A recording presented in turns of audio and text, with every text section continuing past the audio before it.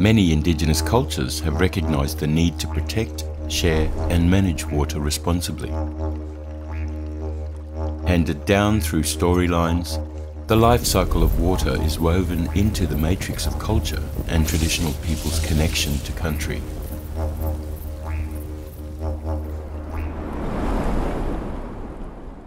Although our modern times and government structure has changed the dynamics of how water is managed, the philosophy behind good water management remains.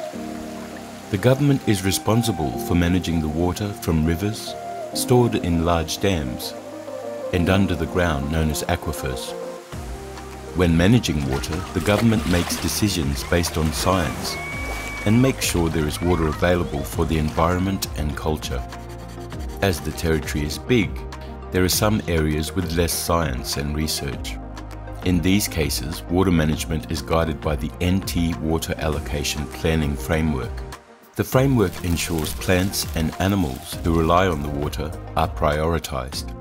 The framework splits the Northern Territory into two distinct environments, top end and desert, called the arid zone. These areas are managed differently the top end zone is where it gets big wets and monsoons every year. The arid zone is where it can get big rains, but not very often. In the top end zone, 80% of all surface water and water that seeps into the ground each year is set aside for environment and culture. In the arid zone, 95% of all flowing water each year is set aside for environment and culture. Groundwater in the arid zone is managed differently over 100 years, not like one year in the top end, as it doesn't rain as often, but when it does rain, it is sometimes very big.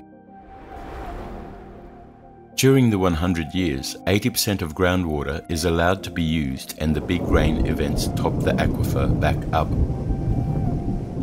When shown over a year, less than 1% of the water in the aquifer is allowed to be used. So what happens to the water that can be taken out of the aquifer or the river each year? The government shares it around. There are two main ways this is managed, water plans and water licenses. In areas where there is lots of competition for water, the government makes a water plan.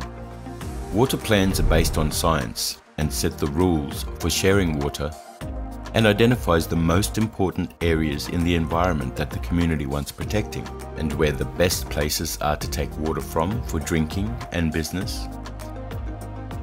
Community input is an important part of the process.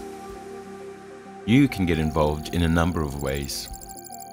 Participate in water committees and comment through Have Your Say forums. When a person or a business wants to use water, they have to apply for a water license and state the volume of water that they would like to use each year. Some water is reserved for Indigenous people who can apply to develop businesses or benefits for their community. Before a new water license decision can be made, there are a number of things that must be considered under the Water Act. These include scientific information on water availability and potential impacts on others who use water or land now and into the future. When an application for a license is made, a notice is published. Community is able to have a say by responding to the notice. You have 20 working days to comment on the advertised application. If your neighbour applies for a water licence, government will write to you directly. Land councils can help you make a comment for your community, ensuring each and every voice will be heard. Once a decision has been made, it is also advertised. After a water plan or a water licence decision is made, water scientists monitor the resource and check that the water resource is not being harmed. The government monitors licenses and license holders must report their water use each month. If license holders don't do the right thing, they could be fined or go to court. So let's review. Everyone knows water is a precious resource. The government is responsible for water management and works to protect water for the environment and culture, reserve water for drinking, and enable water use. Water management is based on the best available science. Community are able to participate in water management processes. Water is for all of us to use, enjoy and protect.